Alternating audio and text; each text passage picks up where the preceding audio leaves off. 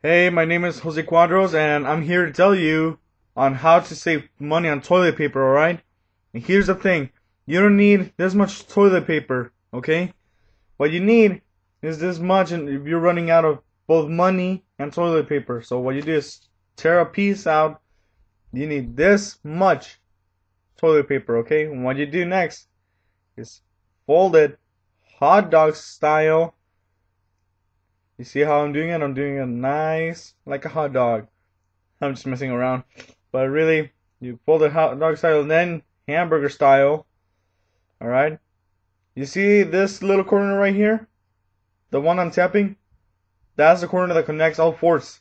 So what you do is rip it off. But don't throw it away because you're going to need it later, okay? So just hold on to it or put it aside for a little bit. And what you do next, extend the toilet paper stick your finger inside this hole and then you start wiping and wiping and wiping and wiping your butt until you get all that nasty stuff out of there, alright? And then you when you're done you take the toilet paper and the stuff off your finger like this. Alright? And remember this little piece right here? It's for your fingernail.